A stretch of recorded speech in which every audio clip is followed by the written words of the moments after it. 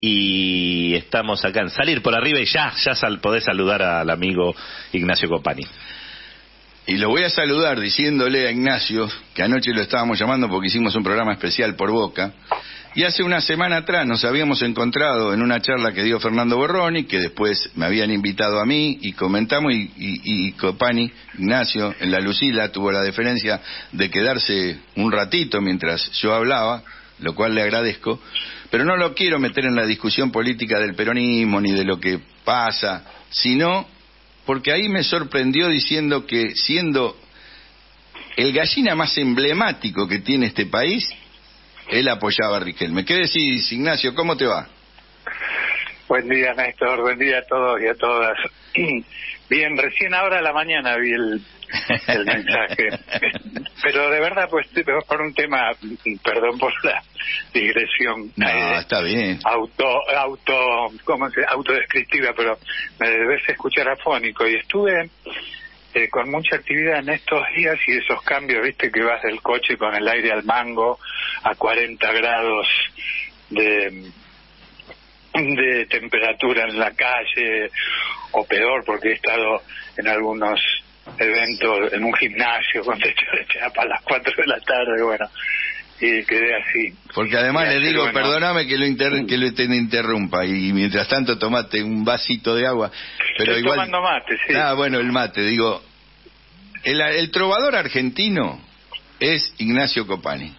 Él agarra su camioneta, lleva los equipos, eh, lleva la música, y claro, en una camioneta importante, pero tiene y recorre el país y va a distintos lugares, en clubes de fútbol, en sindicatos. No hay muchos Ignacio Copani, ¿eh? No hay muchos. Cobra lo que tiene que cobrar, muchas veces menos de lo que debería ganar, pero el tipo va en todos lados llevando el mensaje político de esa música por eso no estamos sorprendidos de que además esa música que es River Platense, que tiene esa, esa impronta, ayer haya decidido apoyar a Boca. Eh, sí. O decirlo mejor, no, no, no te quiero no, No, no, pero apoyar, yo creo que Boca está haciendo eh, en esta jornada un gran aporte porque una cosa es que salga del plantel de excursionista con una bandera que diga, y lo hace, eh, no a la privatización del fútbol, y otra cosa es la dimensión que tiene eh, este acto de ayer, que además fue un acto ejemplar eh, en la cosa del, de lo que es la organización de las elecciones, me pareció todo todo bárbaro después de una cancha tan embarrada, no digo la de la bombonera, sino la del territorio político, ¿no? Claro. Con, con golpes bajos, tan antiguos, pero que acá, viste, pasan, pasan, ocurren, es todo, toda una mancha de aceite sucio que se cuela en, en todos las, los lugares, en todas las edades, lo que está haciendo la, la ultraderecha te diría en el mundo. Sí, sí. Eh, y, acá, bueno, con este laboratorio de, de, experimental. Sí, sí. Ahora te digo, mi ley, eh, yo creo que si iba yo no me puteaban tanto como mi ley. no, quédate tranquilo. Se aparecía y decía, soy un muchacho parecido a Copani, vengo a votar. No, porque de hecho, este yo no voy a la cancha de Boca, obviamente, además hace mucho que no pueden ir los visitantes. Los visitantes. He ido algunas veces a hacer alguna nota de color y puedo circular por el barrio y no pasa nada, no más que algún grito de gallina amarga que hace por acá, no voy a, a recibir. Y me parece que eso también, este, eso que pasó, le da al resto del pueblo una, eh, una esperanza. Para mí encendió un countdown, como se dice ahora, a un reloj que marca el tiempo al revés.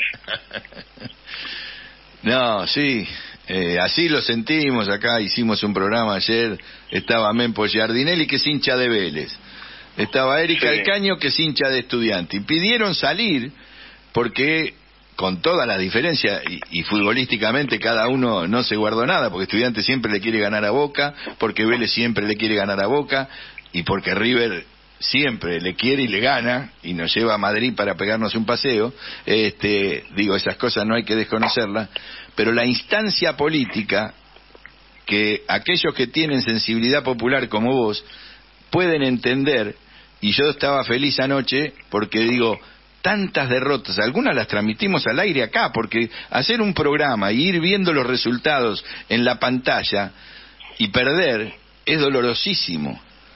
Pero ayer también teníamos miedo. Uy, yo cuando empezó con 51 y 49, sí. que lo primero que sincronicé, digo, pero esto tendría que ser como un fernecito, un 70-30. Y por fin se dio esa lógica, porque yo no, hay muchas otras contiendas electorales ganaban esta, esa no pasa nada, arrasamos y no ocurre así. Pero aparte, lo que tiene de condimento especial eh, mm, por un lado es la tendencia eh, en el pueblo a eh, la imagen de una persona, ¿no?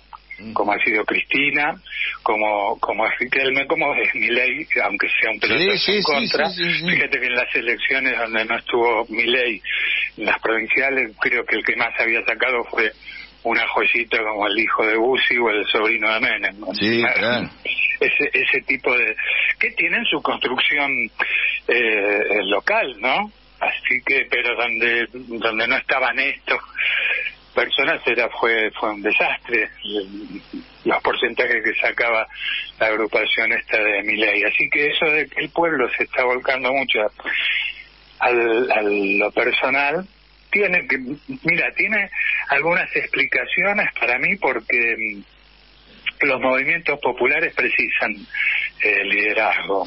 Aunque sea un liderazgo nocivo como el de Miley, ganó un, una expectativa aunque sea dirigida por los medios. Viste que el enojo acá se siembra y se cosecha y se dirige a donde se le da la gana al gran poder, ¿no? Si no tenía que haber arrasado algo disruptivo de verdad en las elecciones. Pero no me quiero ir mucho del, tema de este que me, me gustó de, de lo que pasó en Boca, que es la figura de Riquelme. Si vos ves las fotos de cuando era pibe, es un pibe que se ve, que viene de zona norte, pero de la zona norte que, eh, oculta tantas veces eh, como para mm, hacerle creer a la gente que todo lo que es zona norte es de alto poder adquisitivo. Las fotos de él, de una familia eh, súper humilde, y que sea ese personaje el que eh, el que pueda vencer a al otro, a la impostación, a la ostentación de la crueldad y de la ignorancia al mismo tiempo, que es lo que representa Macri permanentemente. Para mí, Macri es de los peores seres vivos que tenemos en el país. No digo el peor porque todavía quedan vivos personas manchadas con sangre, personas que nunca Macri repudió, por otra parte, ¿no? Claro, claro. Te digo porque vos, un, un pequeño dato como como boquense que te doy, como boquense vos, muchas veces nos cargan a los de River diciendo que parte del monumental se reformó con, con la dictadura. Es cierto, eso, eh, pero River lo pagó. No creas que fue una, una donación. Y, y además eh, habían puesto en la dictadura en condición de, de socios ilustres o para siempre, no sé qué, o presidentes honorarios, claro. a, los genocidas de, la dictadura. Y, y eso se pudo quitar en River, se pudo quitar por comisión directiva, por el voto de, los representantes de los socios, esa condición, lo saben, lo saben pocos.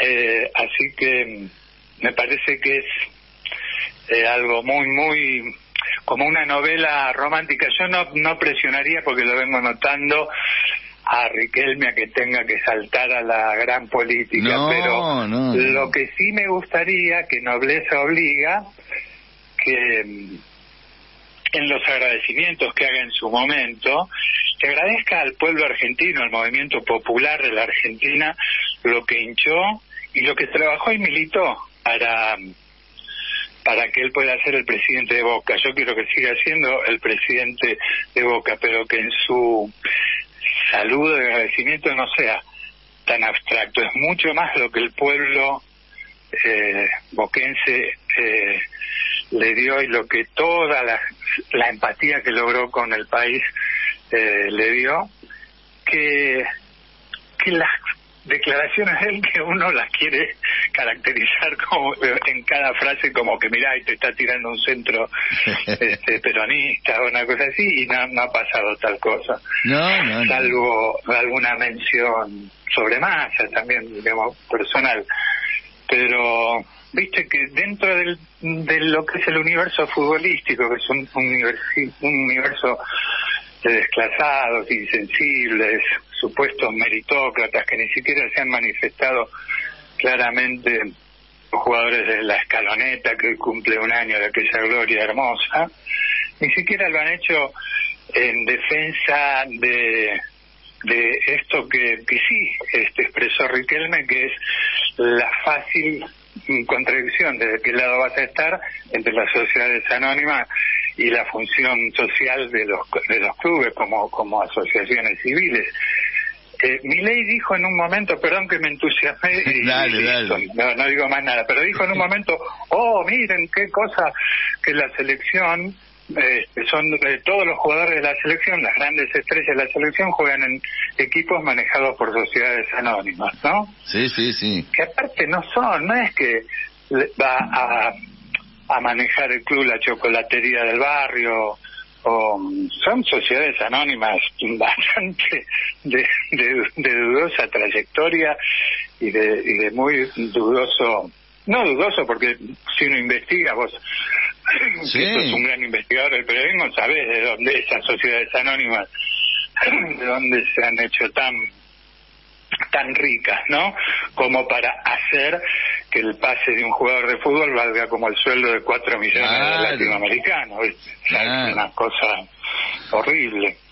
Y bueno, los jugadores de la Escalante realmente tendrían que haberle hecho una respuesta a, a mi ley diciendo, sí, ahora que somos consagrados, estamos en sociedades anónimas, pero el total, el 100% de los que ganaron ahí fueron iniciados en clubes de barrio. Eh, sociales, en clubes de barrio. Así es. En clubes donde para lograr un Kun Agüero, que lo digo del Kun porque ha hecho él declaraciones bastante antipáticas, pero tenemos que bancar centenas de miles de Kunes Agüeros para que salga uno con su habilidad, con su destreza, este y pueda triunfar y luego ir a una sociedad anónima. Pero si fuera el, tema que las sociedades anónimas, entre otras cosas, de, lo liberal que es ladrón de todo, pero hasta roba los nombres que le pone libertario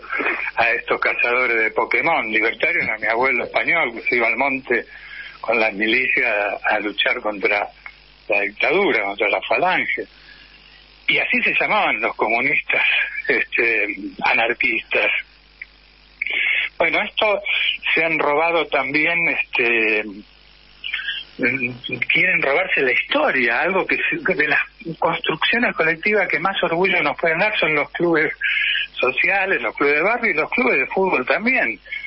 Eh, así que eso, si ellos fueran tan hábiles, lo de las sociedades anónimas, fundarían ahora al Qatar no sé cuándo, y vamos a ver quién va a la cancha, quién o qué le importa de, sacar a los pibes de la calle, darles cultura, profilaxis, de todo se da en los clubes. Es una de las redes más maravillosas que tenemos, los clubes, las parroquias, las organizaciones sociales.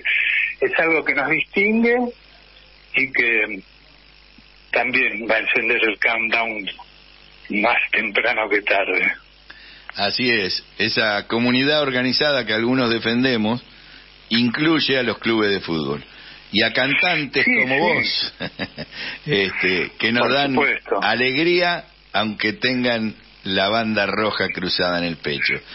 Ignacio, gracias Néstor. un abrazo muy grande, será hasta la próxima y gracias por salir. ¿eh? No, no, no, mil gracias. Perdón por el entusiasmo, pero hace seis meses que no fumo y fue... Ex- exhalo sílabas. Meta, meta, se lo merece, te quiero mucho. Vamos arriba. Vamos.